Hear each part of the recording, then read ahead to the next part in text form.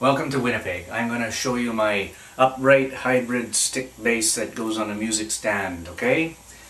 And it's a convertible too. So first of all, this is made out of an oak piece of flooring. And um, this big body here uh, and this, this part here, they actually come apart. I'll show you how to do that in a minute.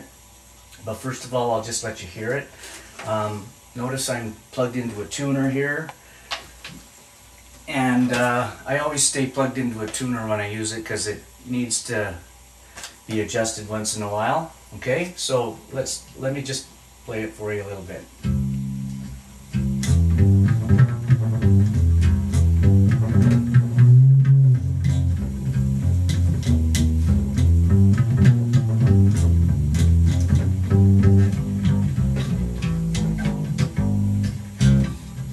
Okay, so that's it. Um, I'm plugged into a tuner. I'm going through a little Vox battery powered amp and then I'm going into a computer. So I don't know if we can get the, the Vox amp on, on there or not. The original intent was to have this big body um, do a good job of making it an acoustic bass, but unfortunately we have to keep it electric. So it's a homemade electric. There are two nylon strings, they're weed whacker twine, and there are two um, real wound wound bass strings on here. They're not tuned to pitch as they would on a real bass because uh, the neck doesn't have the support that a real bass guitar has. So in actuality, my low E here is a real A string. Okay, if you can follow along with that. So it's not tuned very tightly at all.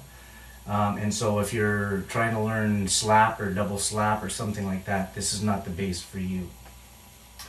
Um, what else can I say about it? I'm going to show you how this thing comes apart and then it'll fit right directly on the music stand.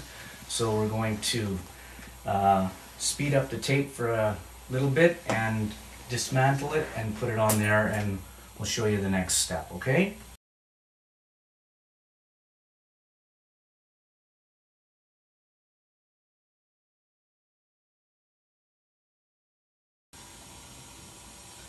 Okay, so obviously it's the same electronics. Here's the bridge right there. Um, the bridge will the bridge will move, just like on a, uh, any of the violins family type instruments.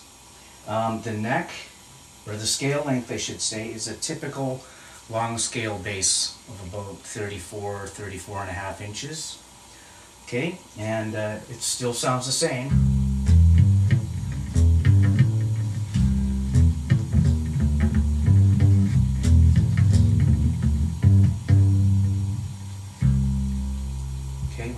Very loud, are we, Kevin? Can we turn it up a bit? It'll be fine. It'll be fine? Okay. All right, so there you have it. Um, this block in the back, it has a hole drilled in it, obviously for the music stand. Um, and the block also provides a way to anchor into the, uh, the body. All right?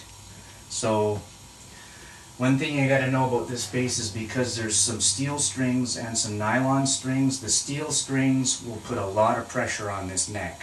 It is only a piece of wood flooring after all, so what I do after playing it, I always detune it, and uh, that's why having a tuner hooked up to it uh, all the time is a really good idea. Okay. Um, did I show the the uh, the Vox, Kevin? That little Vox, it's a Buskers amp. I'm going through um, the little 5 watt Buskers amp and then into a computer system. So uh, if you have a big bass amp, well that'd be awesome. So my phone number is 775-2048 in Winnipeg, Manitoba. It's area code 204 and um, I'm asking 180 for this. Just the stick. Um, the music stand is my music stand that I need all the time. And if you want to take the body as well, the, the body is 40. Um, the body won't give you a lot of acoustic sound, however. I'm still kind of working on that. So, uh, but if you want them both, it's 220 and 180 for just this. Okay? So that's it. Thank you.